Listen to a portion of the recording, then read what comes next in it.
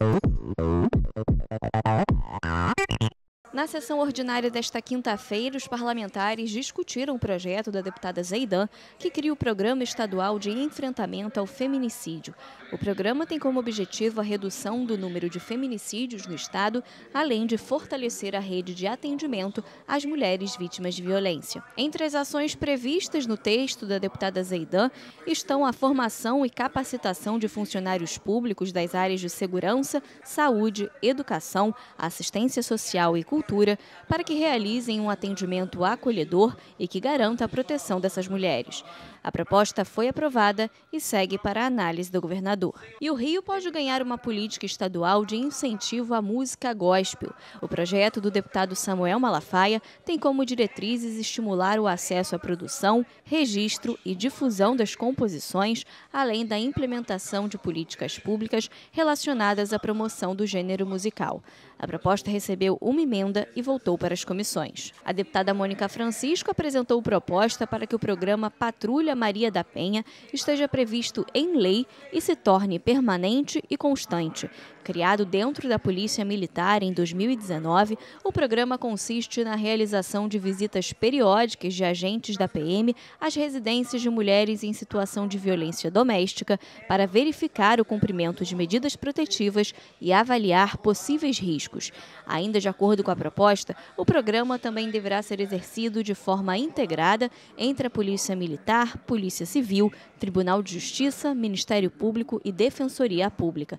O texto recebeu uma emenda e retorna para mais uma votação. Uma das nossas premissas, junto com a Associação de Magistrados e Magistradas aqui do Estado do Rio de Janeiro, que tem acolhido diversos casos e a preocupação com o aumento do número né, de feminicídios, principalmente. Lembrando que a maioria deles acontece dentro de casa né, e parte de companheiros das, da maioria das vítimas, de companheiros próximos das vítimas, dentro da sua residência.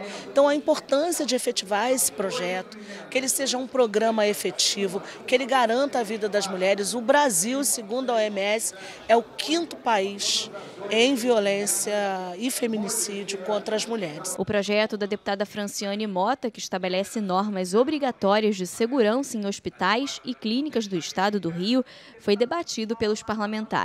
De acordo com o texto, Todos os geradores de energia elétrica devem ser instalados em espaços abertos, sendo proibida a instalação em subsolos ou ambientes fechados.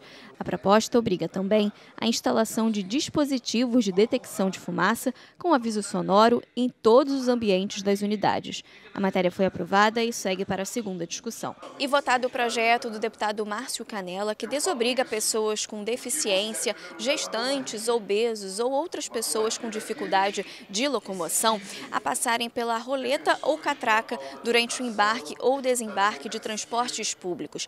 Essa proposta revoga uma lei já existente que trata do tema e obriga o embarque somente pela porta dianteira dos veículos. Esse projeto foi aprovado no dia de hoje e retorna ao plenário para mais uma votação. Pode ser criado no Estado um sistema de informações em saúde para agentes da segurança pública.